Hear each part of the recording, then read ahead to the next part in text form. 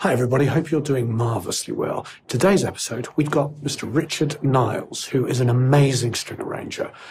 Probably most notably, at least for me, Grace Jones's Slave to the Rhythm, but also, of course, Tina Turner, Ray Charles, Anita Baker, you name it. An incredible, or Pet Shop Boys. He's also a composer, credible jazz guitar player, and an all round wonderful guy and an educator. Has written tons and tons of books on music and music theory. This is not one to be missed. Stay tuned. Watch the wonderful Mr. Richard Niles talk about his journey.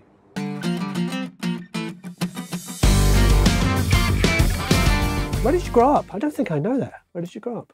I grew up pretty much uh, about three minutes down the hill. I spent mo most Wow. of my child in my grandmother's house. You know, I, I love this area and I love the smell of it, you know, the eucalyptus trees. So this is very homey to me. Hummingbirds, squirrels, Oh yeah, oh yeah, the whole thing. Yeah, it was Yeah. great. So snakes.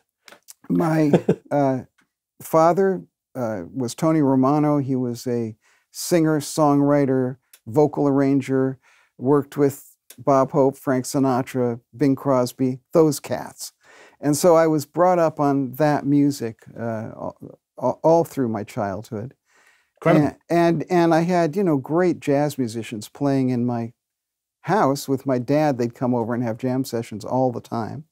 And so that was a wonderful thing. So I not only, I mean, obviously, I had, you know, most people say, oh, I would listen to my mother's record collection. I just listened to my dad play. I was thinking the same thing because I grew up on classical and jazz music. That's all my father would play. Right. I was, li- yeah. You were listening to the people that made those records Yeah, that I was listening to. Yeah, and it was fantastic. And I, I even remember going over, uh, uh, uh, you know, f- to, to have a pool afternoon with Bing Crosby and his kids, you know. So I, re, you know, when my small childhood, I remember those things. My mother and father divorced, and my mother remarried uh, a screenwriter, Jesse Lasky Jr. And so they took me to London, and and I was very How luck- old were you? I was uh, 11 at that point, and I had the advantage of that background uh, in language, in the use of language. Uh, Jesse was a fantastic poet and very, very uh, highly educated and, and brilliant and funny, hysterically funny. And so I had that wonderful uh, combination of uh, language and music. And then growing up in London, I went to London in 1962. Great time to be there. I was only little, but but let me tell you, the Beatles hit me in the forehead, and then I would go out as a little kid, and I don't know how I got into these clubs, but I'd go to places like the Marquee Club, Tiles, all of these London uh, clubs, and see groups like Ten Years After, The Who, uh, the Graham Bond Organization, uh, all those six. I saw the very first tryout gig of Cream in a little club in uh, Ruislip. Hmm. Eh, You know, and there were these three guys getting up on stage, and my friend who I was with, you know, we used to go out all the time to these clubs. And he said, "Wait a minute, that's Ginger Baker sitting up." And I said, "No, it can't be. Come on, we're in Ruislip. This is no, this is." And it was a local blues club. And he said, "Wait a minute, that's Jack Bruce whipping out his bass. And that's Eric Clapton." And that's what it was. And they played their very first tryout gig. I mean, it was I, was all of fifteen. You know, I, I've told many people this, never on camera, but that, you know, 15 in England is basically, or the UK is basically 18 oh yeah, everywhere else. oh yeah. I was going into pubs of 15. very much so. I'm sure. Yeah. I'm sure you were. Yeah, and if It you were tall enough, normal. if you were tall enough, you did. But but I just you know I was happy to be able to you know the guy would let me into tiles, for instance, and it, that was a pretty raucous place. You know Sure. that was that, and and I'd go there to see the Who because there was nothing like seeing Who in a club. So the the guy would say, "Okay, you, you can go in, but just stand at the back and don't get in any trouble because it gets kind of crazy." when-" And they were all, you know, what they did on stage, and and uh, uh, yeah, it wasn't quite uh, the thing where they throw themselves into the stage, but it was a lot of stuff.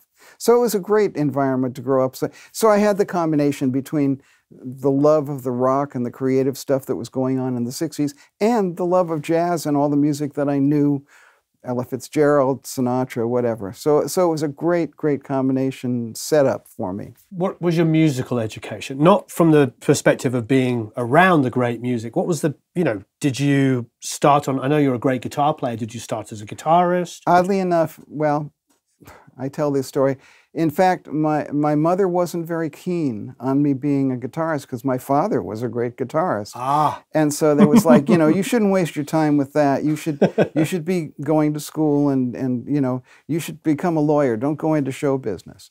So throughout my teens, when I was about, I believe it was about uh, 13 or 14, I actually bought a guitar from a friend of mine uh, who lived in uh, St. John's Wood, and I bought it for four pounds. It was a sort of a classical guitar, very cheap one, extremely cheap.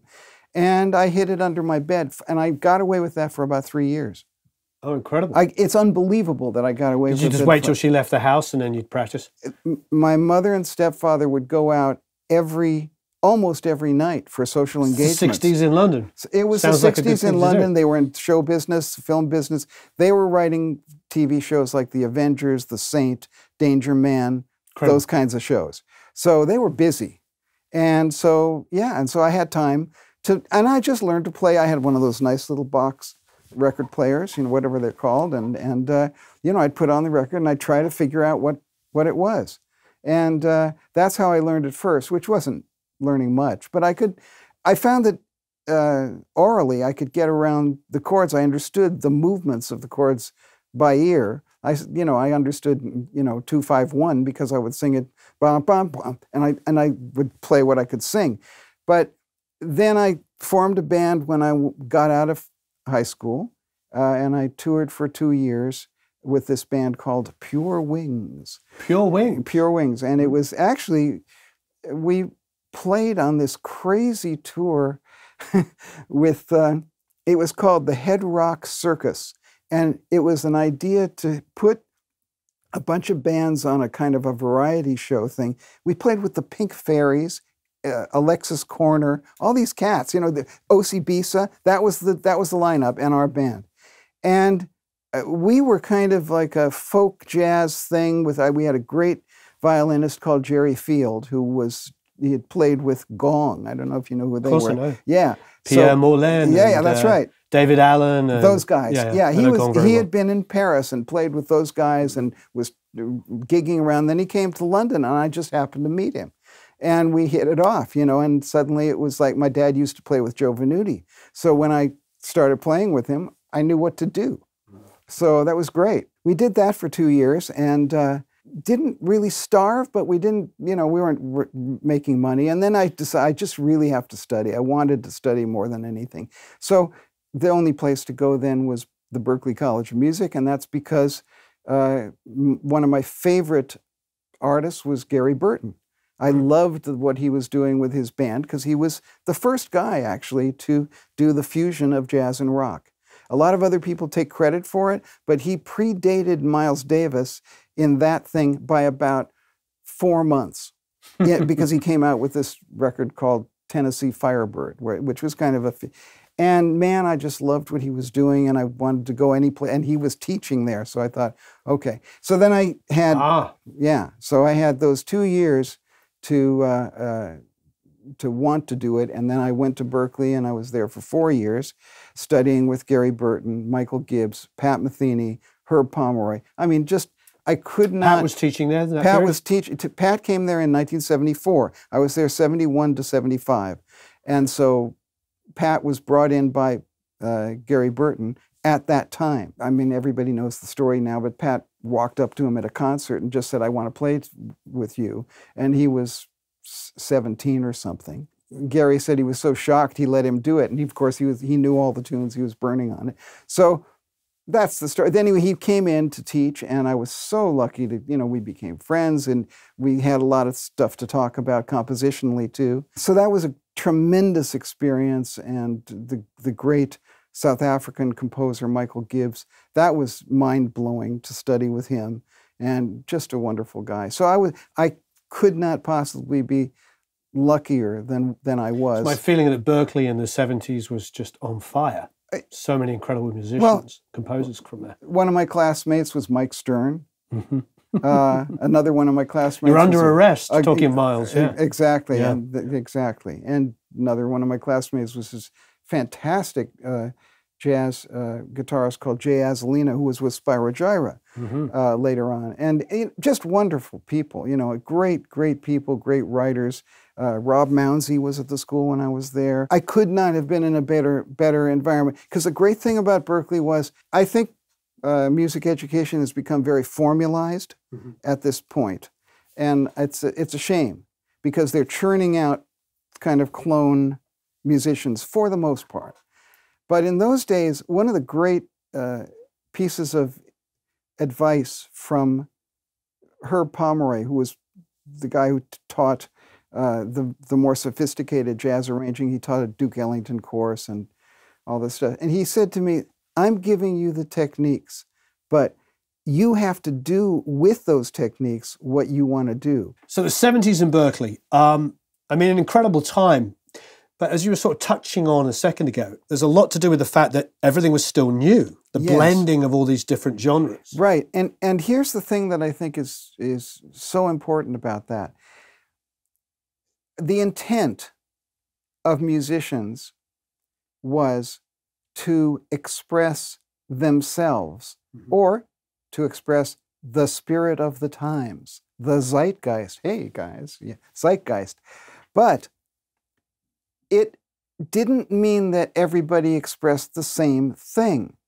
Um, and what I loved about the 60s and the 70s was that Bob Dylan did not sound like The Who, and The Who didn't sound like Frank Zappa. And, you know, I mean, there was such variety, and they were all successful. And the great thing about England that I think you and I benefited from was the fact that the um, the radio, Radio One played everything. They didn't. to. They didn't have radio formatting, and radio One time formatting. zone. Yeah, they just played everything because it was all, and and so you'd get six different styles on six different records. But we don't have that now. What you have is very rigid, I would say, fascist radio programming. So you have to fit into a format, or uh, you're dead, and and that is really a, a sad thing. And Right. and so our intent, all musicians' intent, was to do something a little different, their own thing. You know, I like cheesecake. I like fudge. I like. You could do that, and nobody put you down for it or said, "Oh, that's not a commercial. You can't do that." And that was the wonderful thing. And I was so lucky to come into the music business at a time when that was true because I came out of the Berklee educational thing with all this amazing music and amazing musicians and great mentoring. And and suddenly I'm in London and So you I- moved back to immediately after? I, I moved back immediately. Okay. And the very first thing that I did was I said to my parents, I'm going to New York. You know, that was seemed the place to be was either in New York or LA. So I was going to go. So I said, I'm going to New York because I, I like the vibe there and I'm that's where I'm going to start myself in the music business and whatever. I had this kind of dream about the Brill building and all that stuff. And I really only wanted to be a songwriter. That was what really excited me. And I wanted to arrange because I wanted to be able to make the best recording of my songs. I remember my mother said to me, Well, if you're going to do that, why not at least just go to at least see a few people in London? London isn't, isn't exactly the worst place in the world for music. So I, I made a list of 25 companies, and I think this will show people what kind of person I am. I just made a list of 25 companies, and I went to see each one of them. And 24 of them told me to piss off. Very, very, very politely, but they told me to piss off. And one guy uh, who was a uh, professional manager at Essex Music, Mhm. he liked some, some of the little, you know, low quality tapes that I show, played him of my music. And he also was a jazz guy. So he said, You really need to meet some of my mu- musicians who I use and hang out with. You, you, got, you would get on really well with them. And, and he said, Apart from that, also, I like this idea that you have about a musical So if you ever write anything on that, please come back. So I came back four weeks later with a completed score of songs and the book. He was impressed by that. What was that called? Well, it was, of course, one of the billions of n- never produced musicals because it was way too expensive. It was a musical called Pirates, and it was about the uh, story of Anne Bonny and Mary Read, who were two of the first women pirates. Now, since that time, it has now been shown that that was actually a novel written by Daniel Defoe under a assumed name. And so, but it was a great story of these these two women who decided for reasons of their own that they needed to become men and so it's kind of a very timely thing we're talking Yeah, about it now yeah. but anyway n- nothing came of the musical i was signed to a deal at uh, But it shows your prowess. Well- Showed that you were proactive. oh Reminds me, reminds me, I'm sure, of the Pete Townshend story where the Who show up and and, and they're like, you know, your guys are good, but you need to write your own songs. right exactly. And then two weeks later, he comes back with three hit singles. and the same thing happened with the rolling stones didn't it yeah, Yeah. You know, you're, it's okay to, to do these Lennon and McCartney songs, but you should write your own. And they did. Well, that was it. And so uh, nothing happened with that. But at the company, E- Essex Music, there was a very nice guy called Don Paul who was a uh, record producer. He he was one of the professional managers. But he came up to me and said, uh, Hey, Richard, you, you can write for strings, can't you? And I said, Well, Yes, I can. Because I had studied. I knew how to write big orchestrations. Not that I'd ever heard them played. You know, because you couldn't at Berklee. You could hear your big band charts played, but that was about it. He said, Well, I've got this guy who wants to make a disco record, and uh, will you do it? And I said, Okay. And I wasn't crazy about disco music. I liked some of it. But then I s- said to him, Well, I, sorry, yeah. He said, Well, he'll pay you 400 pounds cash. Now, this was 1975. that's a lot of money. It that's was a brand new car. it was it was like about five thousand pounds, four hundred pounds. I said yes in a nanosecond, and I walked into the studio. Luckily, I had a good fixer because one of the musicians that I'd met, Laurence Juber, had told me about this fixer who was happening in London, and I had a great string section and harp because I always like writing strings with harp. And uh, it's just a quirk of mine. Every record I've ever done that has strings on it has harp. And I was nervous, as you would be on your very first recording session in your very first professional studio. Yeah. And I brought my shaking hands down, and it sounded fantastic. It's and and you know I was Who was the artist? What was the song? I completely don't remember.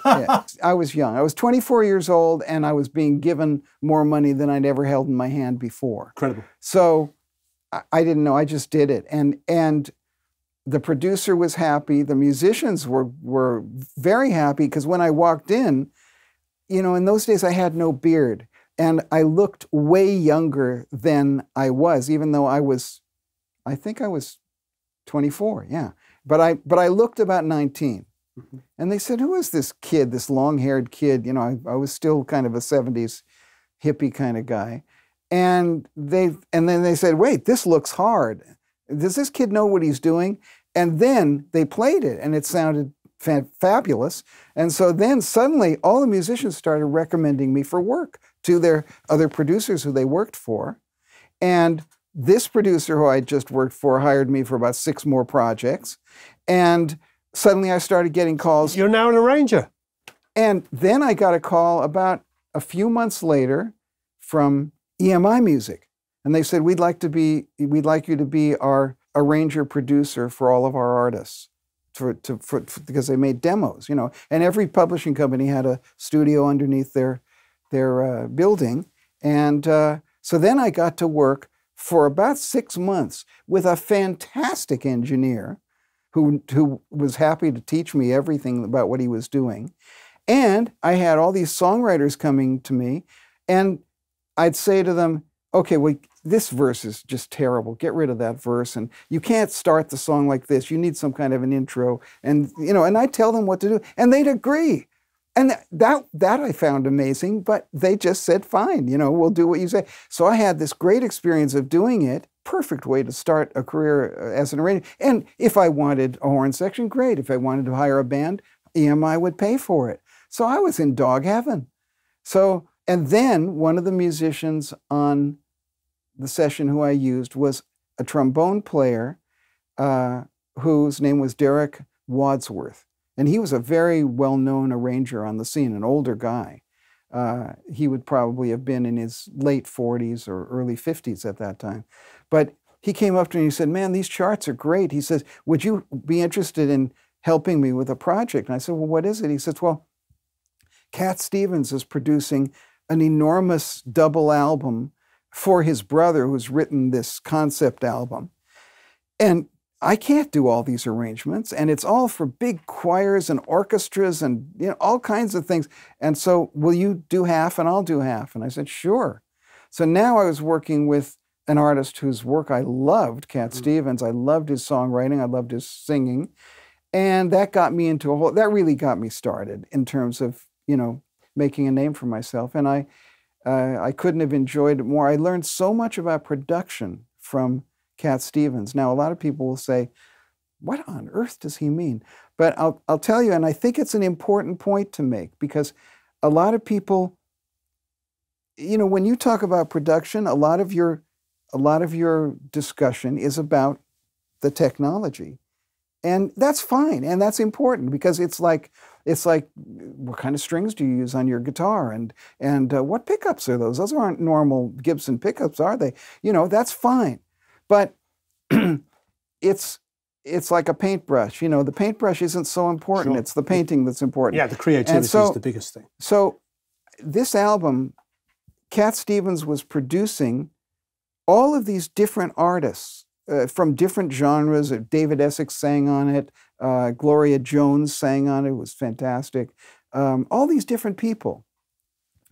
And I noticed, I could not help noticing that with one artist, he'd be, oh, very quiet and spiritual and, and very, mm. he'd speak in a lower voice. With another artist, he'd be telling fart jokes.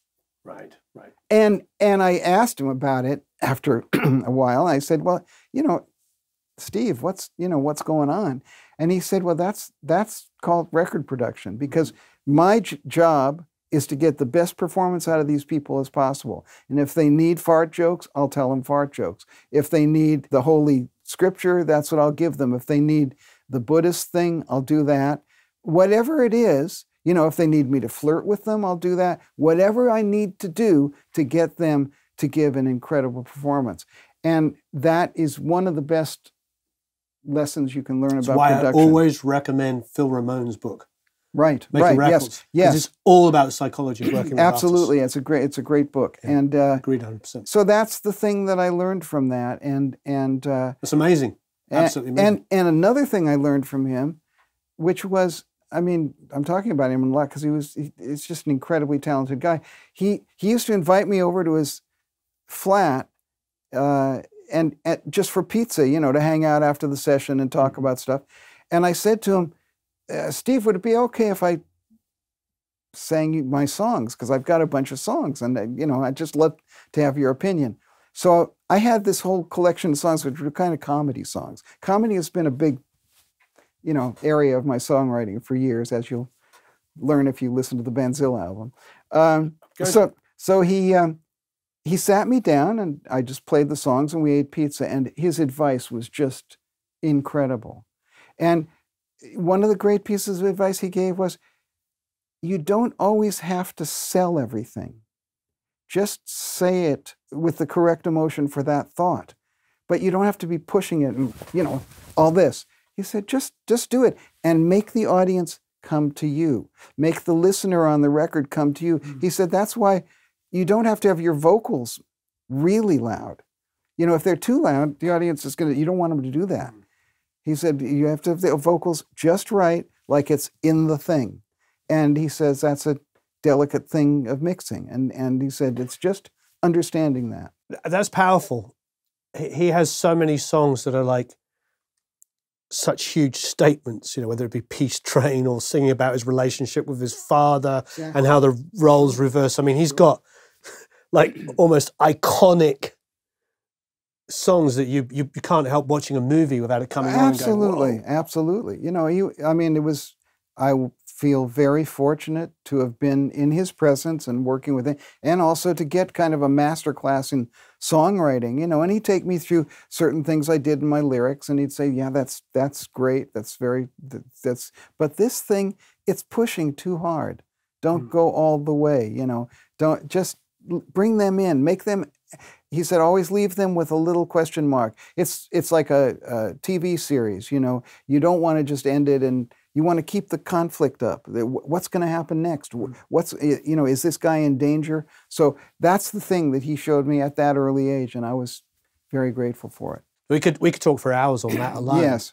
you know because his his vocal delivery is oh. so like almost understated but his lyrics are so powerful and so like boom you hear them straight away you know what he's he, trying to tell he you. He actually sang as as if he were speaking to you, mm-hmm. as if he was right next to you with his arm around you, speaking to you. So that was amazing. When my father died, I remember going back to that song and mm you know, like if I if I think about it now, I'll start crying. Right, such right. a powerful song. I and that's if... the beautiful thing about what music can do mm. for us, and that's the thing that I sadly feel if you listen to pop radio is not there. Here are the reasons why that's happened.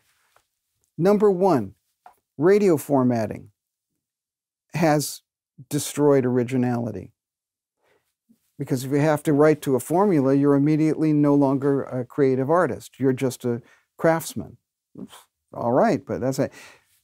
Songwriting, because of that, has changed that it's songwriting by committee.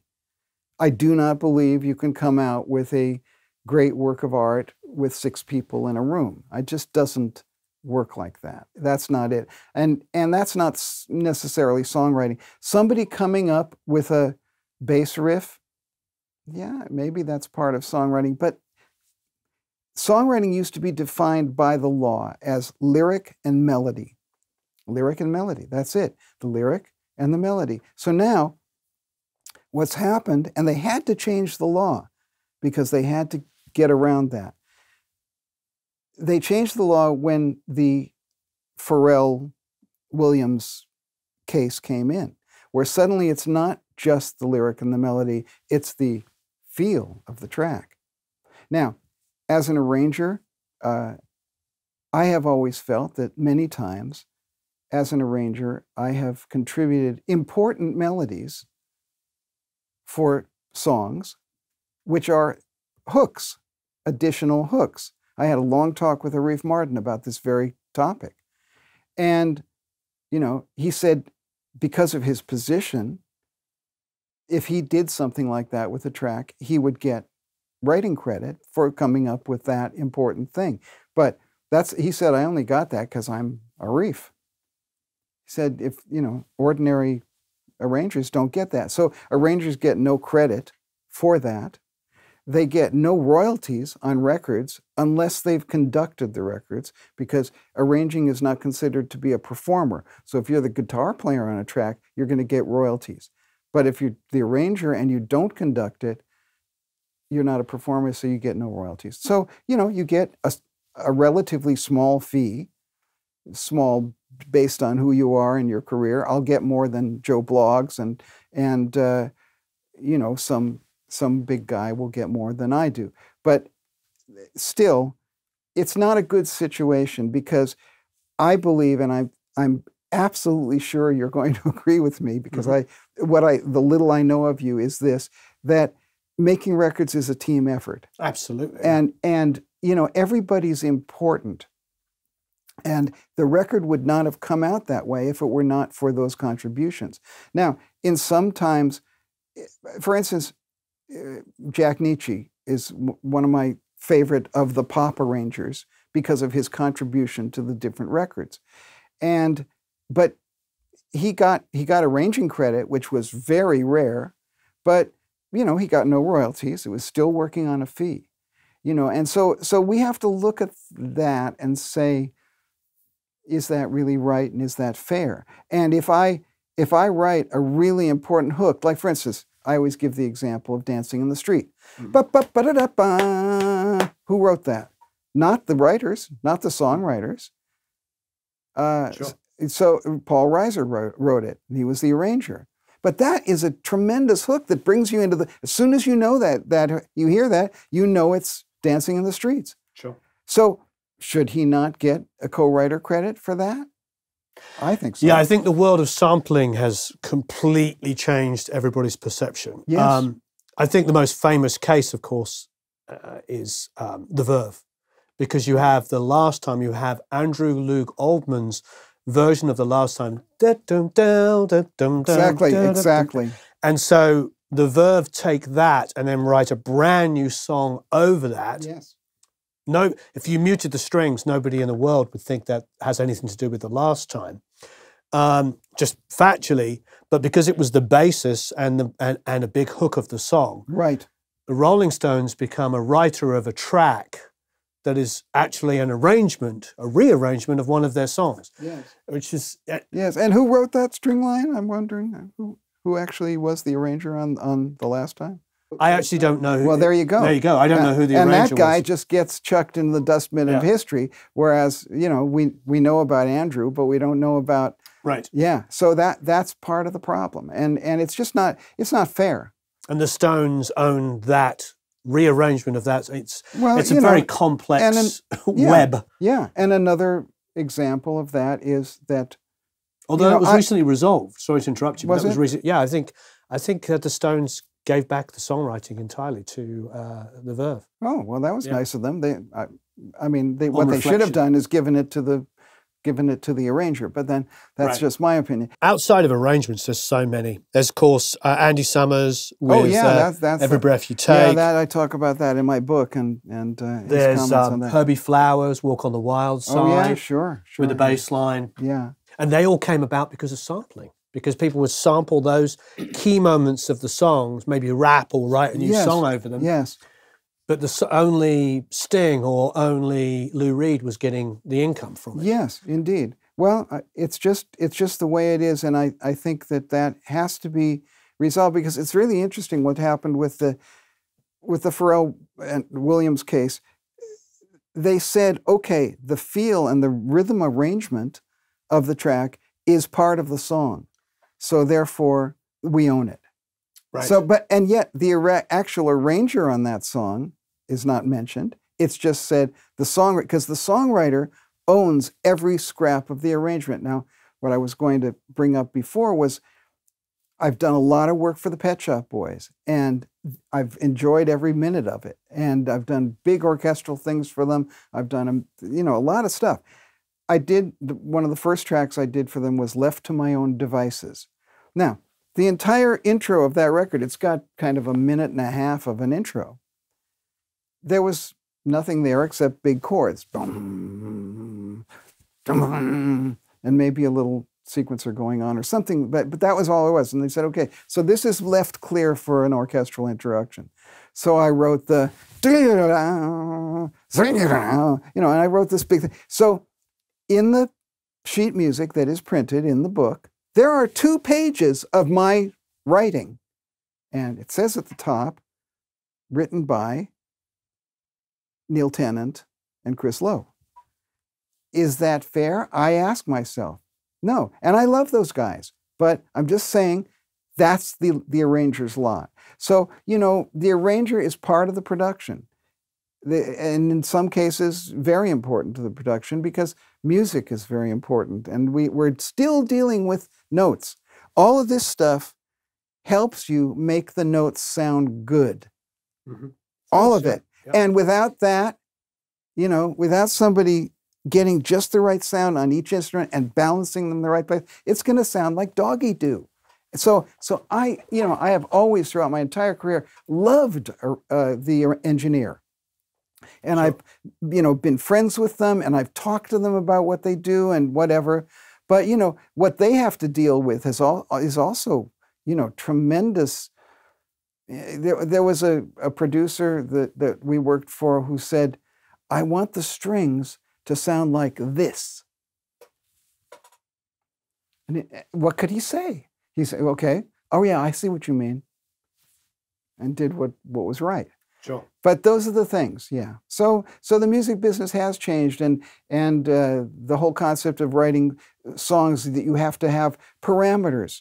You can only have four chords and they have to be this list of four chords. And if they're not included in the, that list, you can't have them. No, no, no. That's out of the, that, any kind of, of uh, conformity is bad for music. And I agree with you wholeheartedly.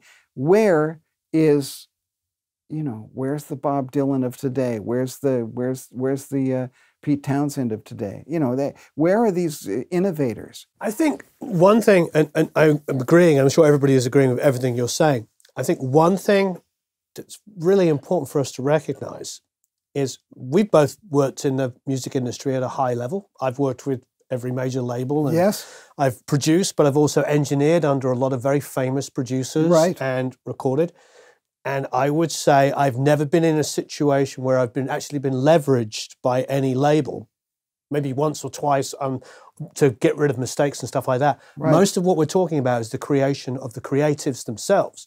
So you're in a room these days, and I've been in these rooms with writers, and they're listening to the top 10 to guide them on That's what right. they should write. That's right. So there's sort of, because I think it's very easy for creatives to be like, yeah, the big bad music industry. And God, what I see every day, I see a hundred rant videos. Where, I don't blame the industry at all. I, yeah. I blame. It's up to us as creatives. I, I, agree, but it's all, I also blame the infrastructure. So that's an important point. So if you have a market where you're selling vegetables, and you've only got three carts you can't get that many vegetables on it. But what they've done is they've taken what was in the 70s maybe 500 carts and they've whittled it down to three.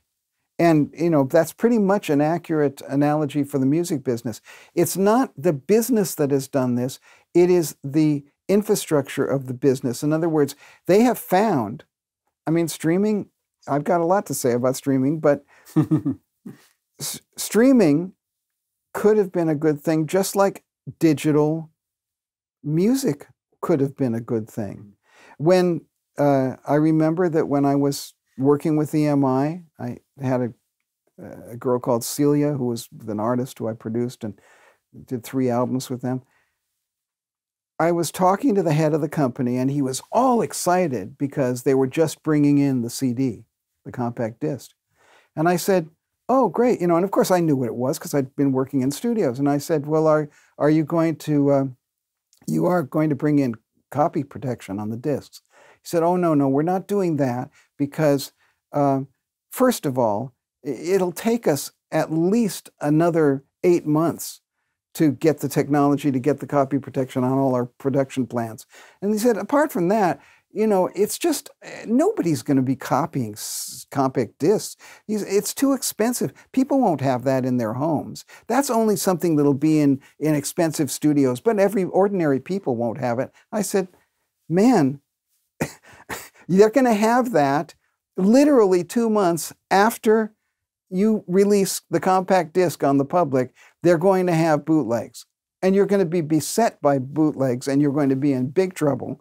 And he said, Oh, well, that's, you know, that's because you're just a producer, you're just a, an arranger, you're, you're too musical. He said, You don't understand the business. It'll never happen. And of course, I saw him six months later at an industry do, and I said, I told you so. And he blanked me and walked away. So that's, that was one mistake. Then streaming. You cannot give music away for free. You can't do it. That ruins everything because then music becomes worthless. I've always been told this from the very beginning when I started in the business. Don't work for free. Don't ever work for free.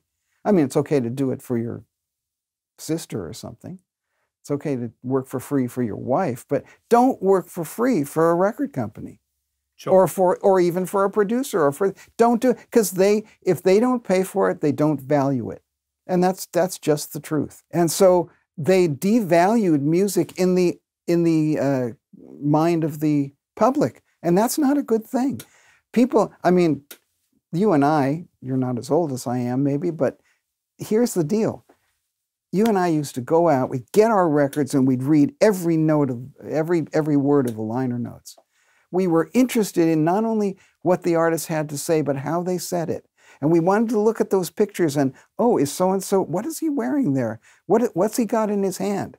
I thought he didn't smoke. I mean, those are all the things that we as fans, and we loved the music so much, we wanted to know about that. Nowadays, with streaming, you don't have that. Uh, you don't have liner notes. You don't have the the visual contact. You don't. And and then let's talk about the way the business is for touring. First of all, up and coming bands, man, you would you would agree with me on this that they are the life's blood of of any creativity. Where can they play for money? They can't. So if they can't play for money, they have to drive an Uber or a Lyft instead of working on their music all the time. That's not good. You know, when I, I, I sound so much like an old fart, but in the 70s, you could get gigs, pub gigs all the time. The 70s and the 80s, pub gigs, and you'd make a living on that. Not a great living, but a good living. You know, you could you could actually pay your rent and you could do the next gig. You can't do that now. Nobody will pay you. Everybody wants you to play for free. Everybody wants you to do all that stuff. It's not a good thing. So something has to change. And, uh, you know, the online thing can work. The people, I mean, I love what Vulfpeck did. I absolutely, those guys knew what they were doing. They knew how to use the system. Uh, but not everybody can do that. So, yeah, it's a, it's a different world and an interesting world. And there are so many great creative artists coming out, not in the pop world, I wouldn't say, but in the kind of fusiony world of uh, this jazz fusion, classical fusion, uh, you know, all these different other areas. I love what's going on. I listen to all, as much stuff as I can listen to. There's incredible stuff happening in the Brazilian world and all of that music. I hope it gets a chance to breathe. I think uh, the thing I find myself using as an answer all the time when people ask me pretty much questions about how to develop themselves as artists, as mm. creators, producers, mm. I'm like, collaborate, collaborate, collaborate. Yes. It's, you know, all the music that you and I grew up listening to, continue to hold in such high regard, is when you blend ideas together. Absolutely. I think one of the disadvantages and the advantages is the same thing of access now. If you're already educated on music, this is the best time to be into music because I can just go, I want to listen to, and within nanoseconds, I'm listening to anything. Yes. And I'm blessed. Yes. I grew up in classical and jazz and metal and blah, blah, blah, every right. genre. I can find it. But if you're if you're not educated, it's it, it's really hard to you know to if you haven't been exposed to different genres, to, you can just get into like a very specific genre. Right, right. Agreed, um, agreed wholeheartedly. Yeah. Radio is a big thing. I've talked about this many times. When I first toured America, I went to Florida and I played a show. Some kids got backstage, and I said to them, "What bands are you into?" And this is only like 15, 20 years ago, and they said we listened to Lynyrd Skynyrd and like American like right, know, right. rock of that period. And I was like, oh, that's cool. I was like, you know, do you like Otis Redding? And the guy looked at me blankly and said, who's that? Exactly the same experience I've had, yes. I'm just like, how can you? Yeah. How can you not know who Otis I know. Redding I once asked a class that I was teaching. I said, raise your hands if you, you know, if you like various types of music, and most of them said R and B. I right. mean, there was a big. It was a big class I was teaching. Two hundred. That's a good thing. 200, and they, yeah, and yeah. I said, okay, great. Then I said, how many of you have can can name more than three songs of Aretha Franklin? Hmm. Three hands went up. I wow. said, how many of you can name more than three songs of James Brown? Pretty much the same hands went up. Unfortunately, the young listen to playlists now, not music. They just put on that alternative rock playlist and they listen to whatever it is. So yeah, it's a it's a tough thing. And and uh, artists who come to me and want me to produce them and want me to work with them, I ask them. Their their frame of reference is so tiny, so microscopic, and it's all within the last three or four years, and that's it. That's all they know. And that's not good. The whole thing about music and the thing that makes you a producer is the fact that you have a huge frame of reference. And, you know, if somebody comes to me and says, Oh, I've got this record, what should I do with it? I say to them as an arranger, Well, you know, it can be done like this. and then you'll have this. So you'd be fusing with this kind of thing, and you give it. Or you could do it if you want a different thing. You could go for cheesecake, and it would be then you'd use this. So I have that frame of reference. Obviously, Mm-hmm. the artists are not getting that. And yeah, the people who are lucky enough to go to Berklee or go to any of these music schools, they they get some of it, and but then they also get. um in my book on Pat Metheny, the Pat Metheny interviews, he says the problem is that there are so many musicians with so much technique, way more technique than we had, but they don't know what to do with it because the actual music that they're playing is it's not doing anything. It's not saying anything new. It's not saying anything that's personal to them. It's just look at how fast i can play giant steps. Or mm-hmm. you know look i can i can play this solo by the slash you know watch it's perfect. Okay but you see what i mean? I mean that's not a Well, I good think place. one of the beauties of us growing up in a pre kind of digital world is that you could only do your interpretation because now you can find everything out you know? Mm. um, i remember when i learned my first one of my first like proper guitar parts i learned was needle and the damage done on acoustic guitar. And i took my granddad's um, you know record player he'd given me and i just played it at 16 rpm so it was one octave yeah lower and I got my version of it, which Yeah. is probably not correct, but it's mm. as close as I could get. And then, of course, as I started to develop as a soloist, I could listen to Jeff Beck at half speed yes and do my best to figure out his in, in, in the way he would bend notes and his expression. oh my god yeah But I couldn't do it exactly. Now I can learn it exactly. oh absolutely of course God bless sure. digital for that. But the problem Yes, is, is that yes. my interpretation and other players, better players than me, obviously, their interpretation is what makes them so unique. That's right. That's right. And and as Pat says, you know, having something to say, and it's and it's something to say, either from your own heart or from the that's something that you want to say about the spirit of the times. Mm. So we're going through. This is really blows my mind. We are going through some of the worst times socially, politically, that I can imagine. I mean, I'm a student of history, so you know this is quite a dark, terrible time that we live in. And yet, where's the music? Where are the songs? It completely shocks me and makes me angry that there aren't songs that are protesting this incredible swing that our culture has made to unfairness, unkindness, violence. It's, I mean, let's not get started on the political thing, but I'm just saying it's shocking that there are not people writing, you know, where's where's the Bob Dylan writing songs about that now? Right. Even he isn't. Yeah.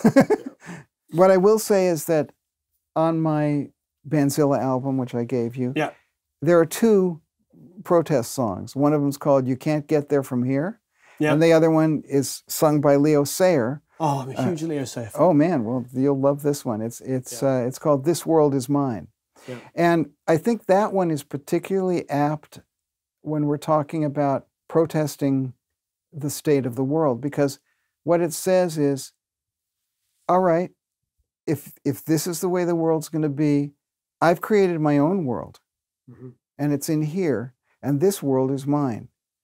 You've never given me your world, so leave me alone. That's what the song says. And I think you'll really love it. And I asked him to sing it in his Thunder in My Heart voice, Hmm. which was one of my favorite records that he did. And I was his musical director for quite a while, and I, and I did his TV show. I was so lucky to be able to be with him uh, to do that, that series, a TV series Incredible. and hear him all the time, you know, working with him very closely. And he's such a nice guy, but at, at the same time, he's really committed to all this stuff we're talking about. Mm. And uh, I, I have to tell my Leo Sayer story. 'cause I Please. I, Leo impressed me as an artist because the first time I was asked to do his series, he said, Come to New York. I'm doing a gig. I, before you do the series, I want you to see me live and see my show because then you'll really get an idea of what I want to do in this series.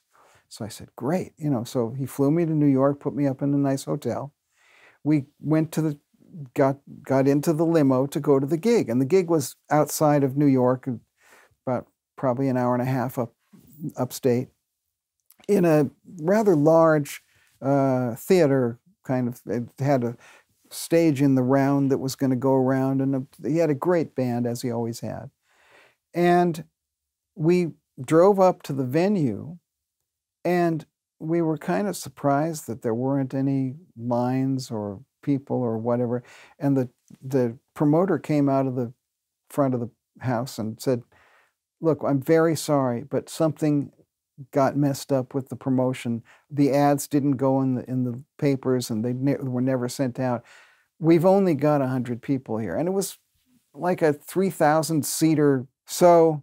He said, uh, I, am sure you'll want to cancel the performance and we'll, we'll give these hundred people or so back their money. He said, give them back their money, but I, I'm going to do the show.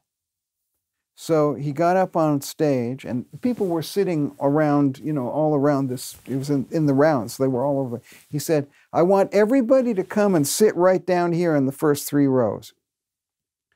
And he said, Stop this stage tur- turning around, and I'm going to do the show for you. So he stopped it. He brought the band forward. He sat on the side of the stage. He jumped off it. He was singing to them individual. He was getting the girls out of the audience and dancing with them. He was uh, throwing a football with the guys. He was just unbelievable, you know. And he said they paid for the, a great show, and I'm going to give them a great show. Now that that's being a real artist. So I'm, you know, for for me, once he did that, I was his. You know, that was respect. Yeah, I love that stuff. That's amazing. I'm glad to see that. Yeah, I've always been a huge, huge fan. Gilbert O'Sullivan's another one that I. Oh, I worked with him too. Yeah. What did you do with him? Really great. I did a record that was produced by Graham Gouldman. Oh wow, Graham Gouldman. Yeah, yeah, which was great fun. He was a terrific guy to work with too. Uh, but Gilbert O'Sullivan, man, the guy's talented. Incredibly talented. So talented. I just did the arrangements for this album, and it was just great fun. Oh, and, yeah. Uh, late 70s, early 80s. No, no, late 70s. I'm pretty sure that's what His it was. song "Nothing Rhymed" is in my top ten favorite songs of all time. Yeah, What a song! Uh, just a joy, just a joy to do it when you have an artist like that. And he just sat down and was wonderful. Oh, he always sounded the same. It's a, he's another guy who doesn't sing like he's singing, you know. Mm-hmm.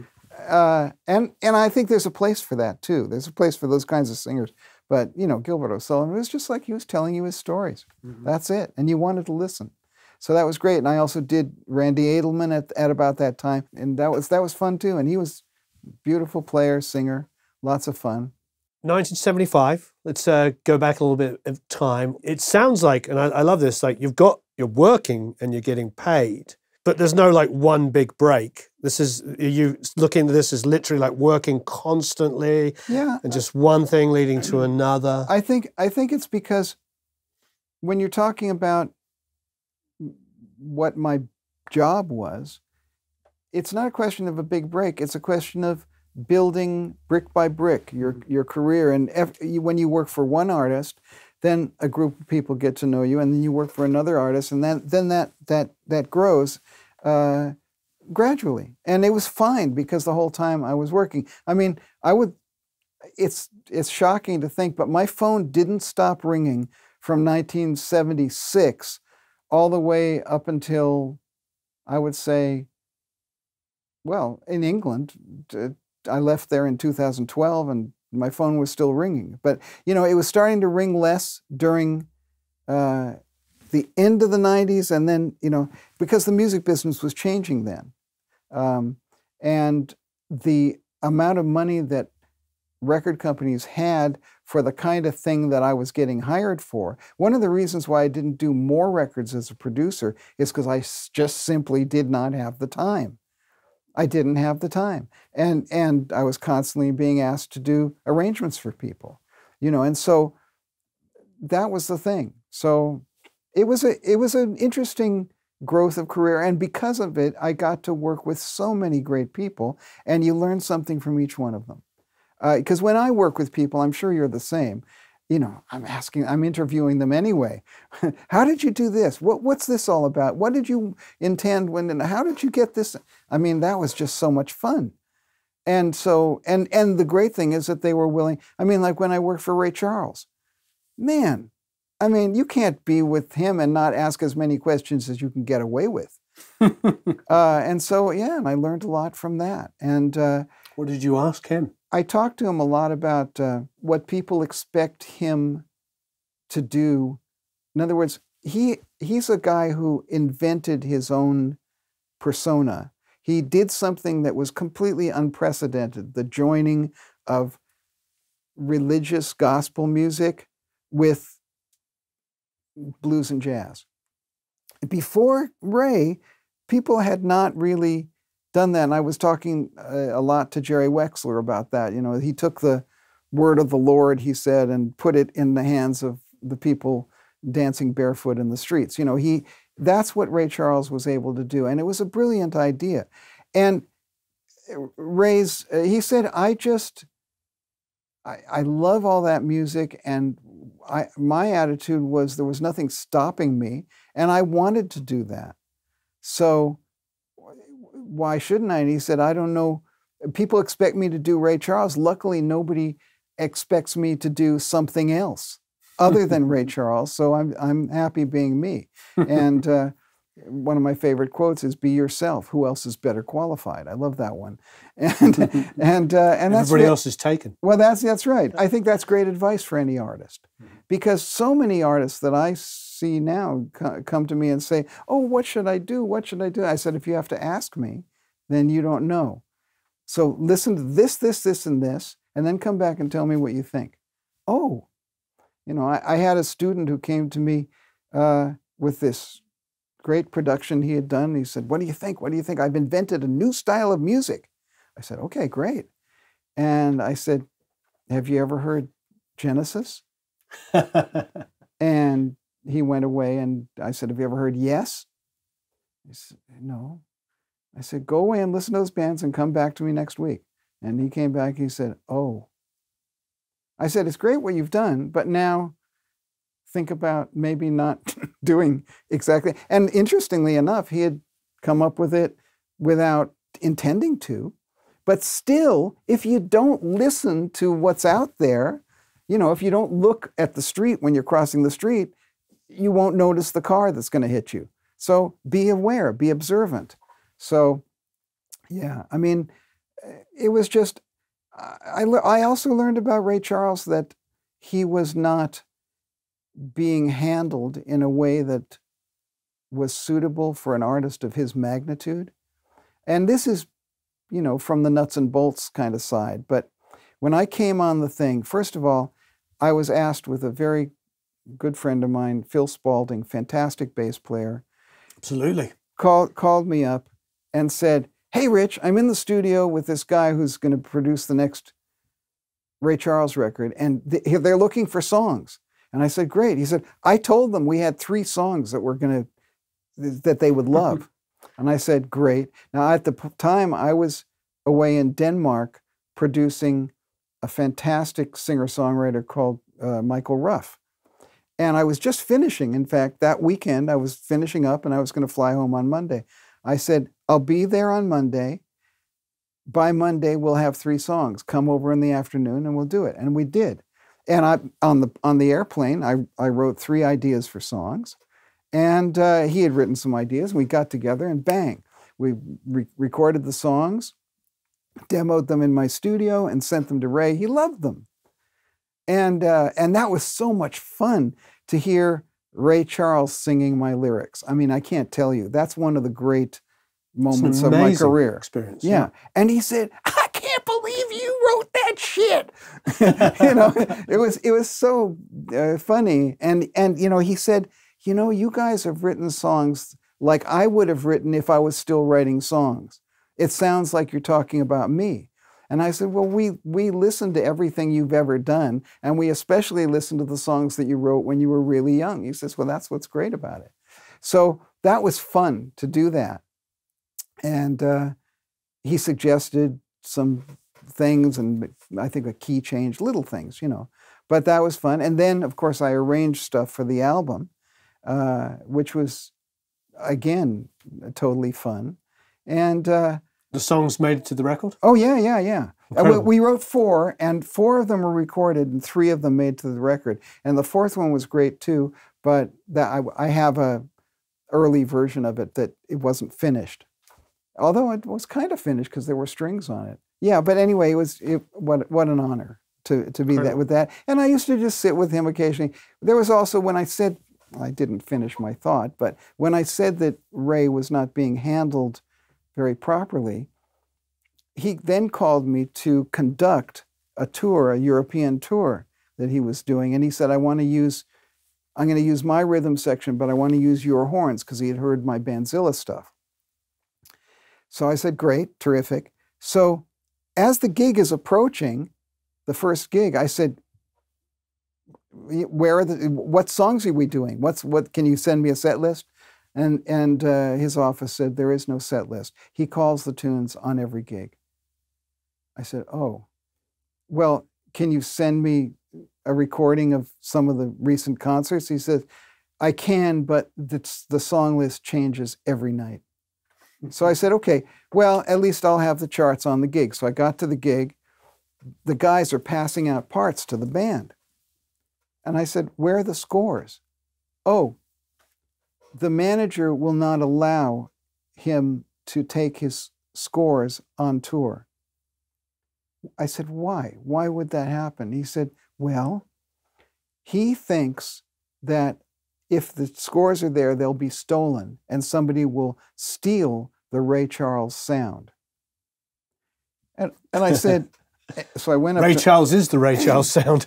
And that's what I said to Ray. I went up to Ray and I said, Ray, there's no charts here. I have nothing to conduct with, and I don't know what tunes are being played. And and by the way, when Ray called the tunes, he didn't say Georgia. He said 95.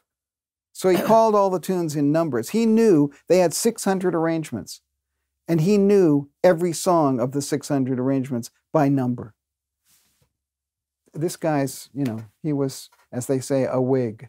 Yeah. So anyway, so then I said, Ray, and he said, well, he thinks they're going to be stolen. That's the way it is. He said, but don't worry because everybody has to, you know, all the conductors I use have to, you know, put up with this. They have to work without a chart. But he said, you know, you're a great guy. Don't worry, you'll get it. So so I said, okay. So the first gig, of course, I didn't know what to. That luckily the drummer, who was a very nice guy, said to me, "Look, the only thing you can do to not look like a total idiot on stage is Ray is sitting at the piano. He's sitting on, looking at the stage, the left, and his he said, watch his right leg because he counts in every tune with his leg. So all you get is four. So one, two, three, four, one. So now you know where the downbeat is. I said, Thank you for that.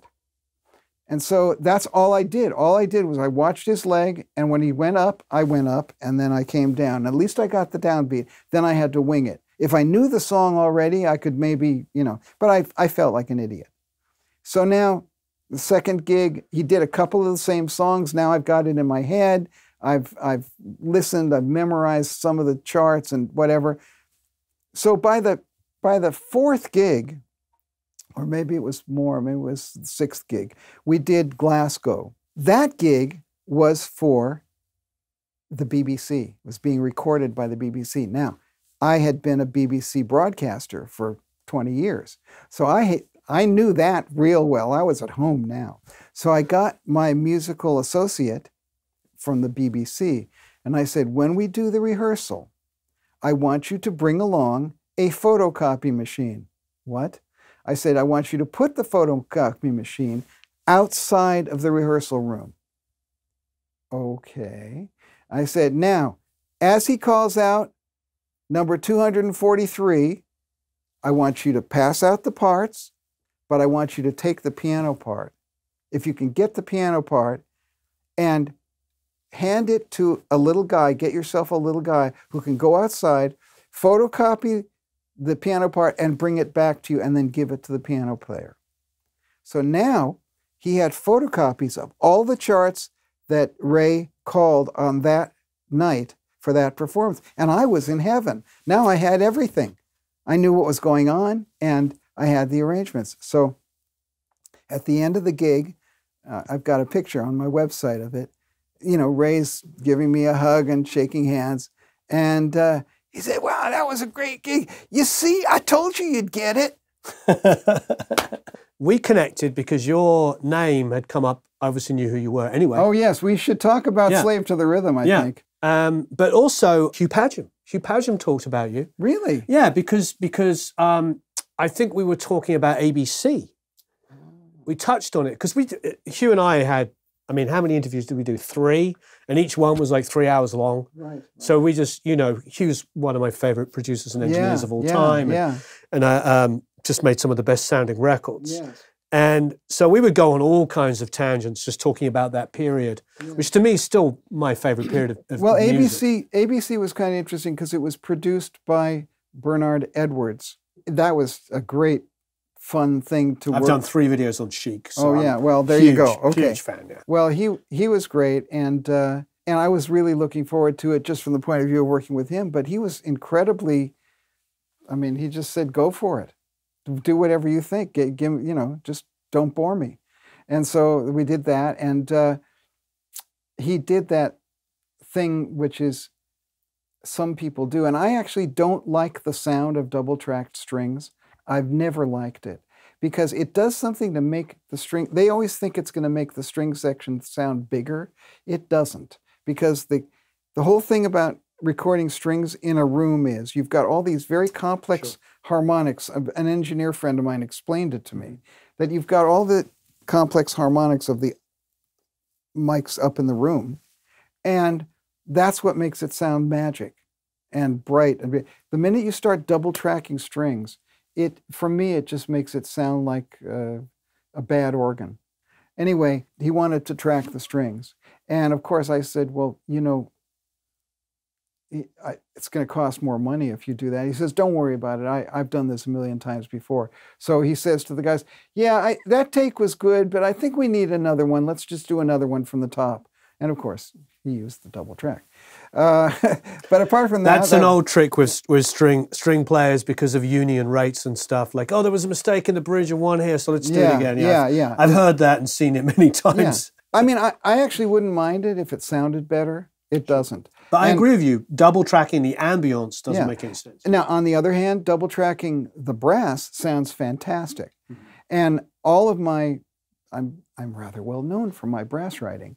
Mm-hmm. And uh, like Swing Out Sister and all uh, Was Not Was, uh, those tracks, they're all done with a small section double tracked, kind of like what the Brecker brothers did. And so, yeah, that's for some reason the the the uh, frequencies of brass instruments, especially trumpets, just you know, it sounds great. And so on my new album, which I'm plugging like crazy, uh, it's Plug away. it- it's three horns, and uh, it's John Thirkell who played on Breakout and about 50 other uh, major hit records. Played on Uptown Funk, and uh, so I've got trumpet, saxophone, and trombone as my front line. So you know, of course, I've tracked them, and it sounds great. I wanted to keep it slightly smaller for the gigging idea because it's you know then I don't. Are you to- playing live? Oh, I will be. I will be. Great. Yeah. But, but we got to finish the record first. Where's your studio? Well, uh, my studio is at my house, but I don't use that for recording anything other than myself, some vocals, and some solo instruments. I used to use it. It was kind of this size, and I had uh, uh, a drum room, and uh, I have a drum room and a piano room and a, and another overdub booth. But I don't really use it so much for recording these days. I, I let other people, you know, and, and so many records. The Bandzilla album was put together from people sending me tracks. And so it's the way it had to be. That's a lot of fun to do that. And uh, I, foolishly still think I have something to say, and I still think I can make people laugh a little bit. So I like to make these these records, and uh, of course I like to whip out the guitar every once in a while too. Your name comes up a lot. Nice, Um, obviously, with all of the British music from that period, you're, course. you're on of course, yeah, tons of it. yeah. Um, what was interesting about Slave to the Rhythm Yes. it's one of the things that I admire about that song is its constraint, and because it it it, and one of those things, of course, is like when um, Steve Stephen was playing back the string arrangement. There's so much incredible stuff there that you know, and he was admitting this could all be there could have been another completely several different versions just using the string and there and there are and i Yeah. found a couple of them and it was great to find them in fact i did a master class uh, a couple of weeks ago uh, on my work and and one of the sections i had was slave to the rhythm and i thanked god and you uh, who are maybe the same person i don't know uh, that Definitely not. That you released your video that had the first time that I've heard my string arrangements uh, and brass on Slave to the Rhythm raw in that way without the track because I can now really hear what I did. And there's so much of it. There's also a big, long uh, uh, thing at the end which was never released. Yeah. Did you hear that? Yeah, Yeah. me. It's incredible. Yeah, it's it's, it's Everything about that song. Well, it's interesting Hmm. Is I went. Steve and I did the first interview, and I said to him, "Stephen, I really want to come back and just do "Slave to the Rhythm," Hmm. and he's like, "Why ever would you want to do that?" yeah. And he goes, "It was never really a big hit." I said, "You don't understand." For guys of my age group, the Gen Xers, this was a song that we all aspired to. Every musician, every engineer, every producer, every mixer I know, when that came out, was like, "What is this?" And still is. And I've introduced that record to a lot of people. And every time they hear it, they hear me raving about the record. Uh, and then they kind of, you know, let it glaze over their eyes. And then they come back to me and they say, I just heard that record. that's unbelievable. You know, so so it that's hits on every level. It's, yeah, yeah, It's what I probably, I'm sure yourself, we want. What we want is we want it all. yeah. And I, I, I think that that record, I always quote it as being, I think it is the apex of record production because and they and they were lucky to have the freedom to do that i mean that's one thing he doesn't really talk about but i think it's so important that they had 100% creative freedom um, chris blackwell said to trevor trevor said i'll do this if i can do whatever i want completely whatever i want Yeah. and chris blackwell said fine and that included not just doing one version, but into when I came to it, there were 16 versions, Sure. Yeah. and yeah, I heard every single one of them. Yep. And he said, "Okay, I'm. He, these are the eight that we've decided to pick to to to be on the album." I said, "Okay, great." And then he said, "I want you to do stuff on these two tracks," and I said, "Okay, great." And he said, and I said, "You know what?" What, what are you looking for? He said, impress me. We can Nice. have whatever. He said, you can have whatever you want. And I said, does that include an 85 piece orchestra? Yes. Do whatever you want. That doesn't mean there's no there's no restrictions. Do whatever you want. So then I decided, okay, great. And he said, come to the studio and, and we'll go through the scores and, and you'll show me what you've done. And I said, great, I really want to do that. And this is where I take a little bit of issue with Stephen Lipson, where he says, I never played them. I didn't want to play. I wanted very much to play them what I've done or show them what I've done. So I was producing Dusty Springfield at the time, which is a whole nother story, but that was Oh, talk about so, that. so my mm-hmm. brain was was pretty Sure. much involved in that, but I was finally got a date to come down to the studio. And this was the night before we were to record the first orchestral session for Slave to the Rhythm. So I walk into the studio and I've got my big case with my score and all the parts in it because I was ready for tomorrow's session. And I walked in, and as I walked in, Trevor took it out of my hand and handed me a guitar. He handed me a Stratocaster. And I said, What's going on? And he said, Well, there's something wrong with the rhythm track. And I said, You guys are kidding. And I look around the room and I there's Andy Richards, there's Steve, there's Bruce Woolley, and there's Trevor on a SP12 drum machine. That's what he's fooling around with. and that's the synclavier, the Fairlight. Uh, Bruce Woolley was had his uh, his uh, I think it was a Roland synth, and I said, "Come on, guys, what, this is a fantastic groove." They, yeah, but Trevor said, "But yeah, we think there might just be something wrong." And then when he said "we," that was slightly qualified because it wasn't. I don't think it was so much of a "we." Sure. You know, Andy Richards looked like he would rather be having a nice cappuccino, and uh, Bruce Woolley was not happy either. And it just generally the vibe was was uh, doom, and so that was six o'clock in the evening, 6 p.m. I believe it was two in the morning after trying every possible variation and me playing the funkiest rhythm guitar I could think of in different ways. Finally, I said at two o'clock, I said, guys, I've got a session tomorrow morning at 10 o'clock. We're recording a huge orchestra at Angel Studios, and I need to be there. I'm going home. I'm going to at least get a shower, maybe even a spot of breakfast, and then I'm going to the studio. See you there or not. So I went, I did what I said I was going to do, went to the studio at Angel Studios, and as I walked into the studio, Trevor's there, bright eyed and bushy tailed. He looked like he's just had a six month holiday in Jamaica, and said, You know, you were right. There was nothing wrong with the track. It's it's really great. But it was fun to try all that stuff, wasn't it? Well, I mean, there's there's a massive lesson in that. yeah. There was a massive lesson. I'm not even sure what it is. no, but but but but don't pushing say pushing don't, the boundaries. But don't say I didn't try to show Yeah. them that I had it all there. I was ready to spend some time showing them the arrangement. But no. So that was the thing.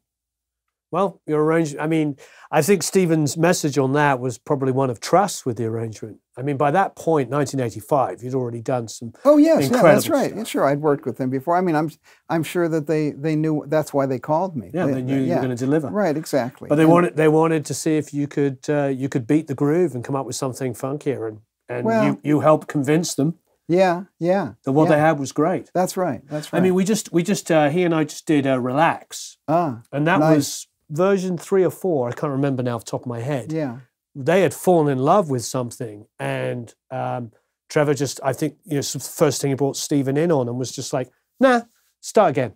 yeah, and I, I, I love that. I, Yeah. I love hearing stories of Eno with you two going, okay, we've been laboring this track for so long. uh-huh. You all know it. Just go back in and recut it from scratch. right, right. you know, whether what the the but great you know, production is that, isn't it? but Warren, I, I got Fearless, I, think is the word we're looking. For. Yes, fearless. And but Warren, in those days, you could be fearless Mhm. because the the goal of every producer and every artist was to do something different. And you've never heard anything like this before, and check this out, big boy. Yeah. But nowadays, that's not the attitude at all.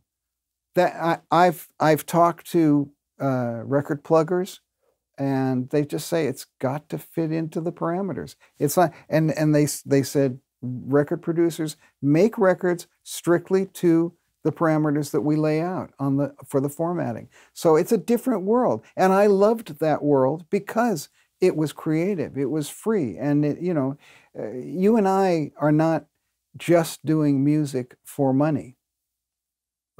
Yeah. Money's great. I like to be able to pay, you know, whatever.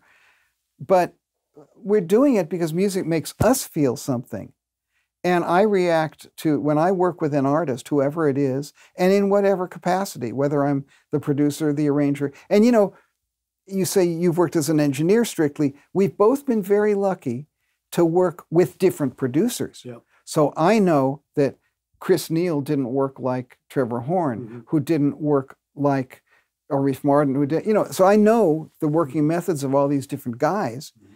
And so that's what's fun is that you can learn something from each one of them. Oh God! I mean, when I do you work with Dave David Foster? Ever work with him? I unfortunately did not work with him. I worked with David Foster. It was on a Diane Warren song. Oh yeah. So I'm like terrified. Yeah.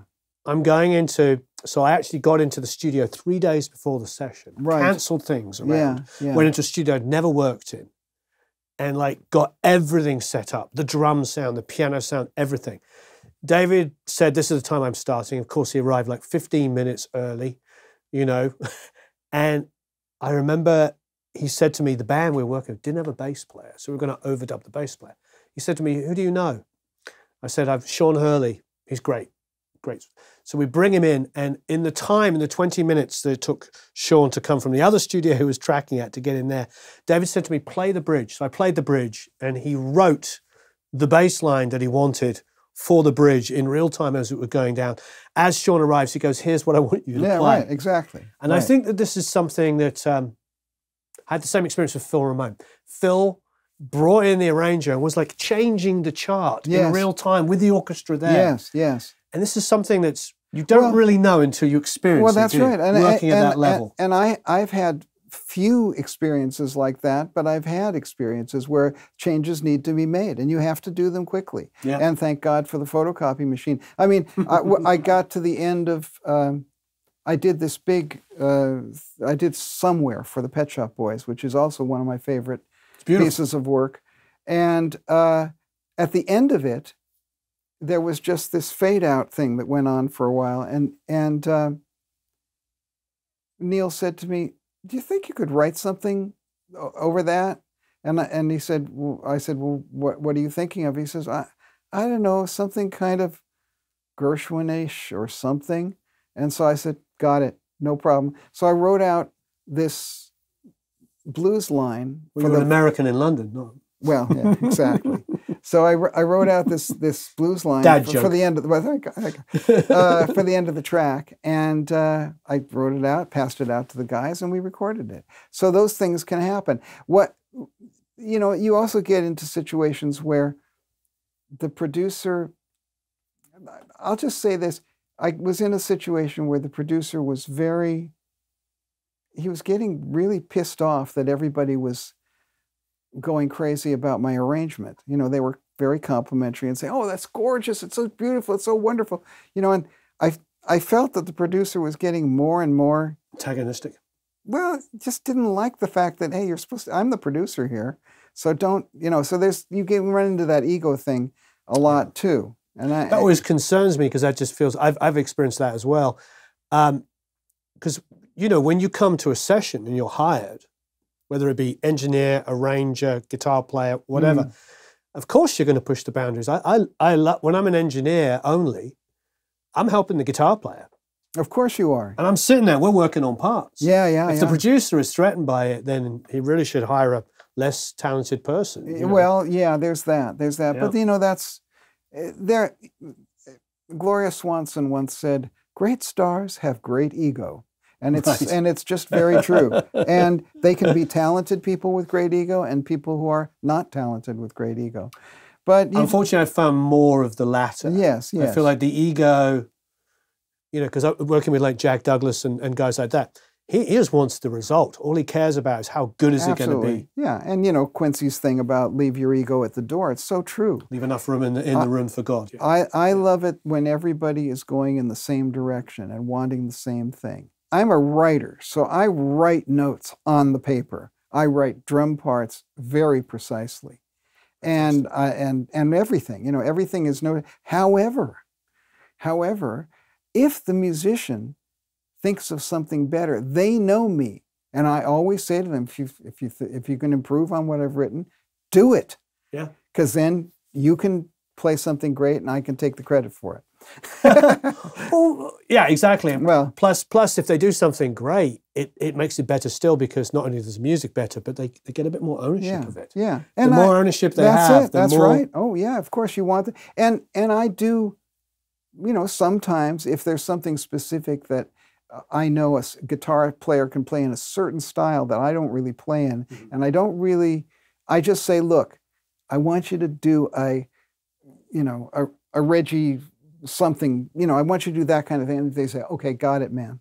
And they do it. So that's great too. I can do that. But I'm just saying you have to work with people who want to work together, Sure. who not people who want to, I did that and I did that and I did that, you know. yeah. So, but that's that's that's the business. But I, I can honestly say that 90% of the work that I've done throughout my incredibly overlong career has been has been positive and pleasant and uh, inspiring and uh, frightening and uh, joyful. I mean, it's just been great.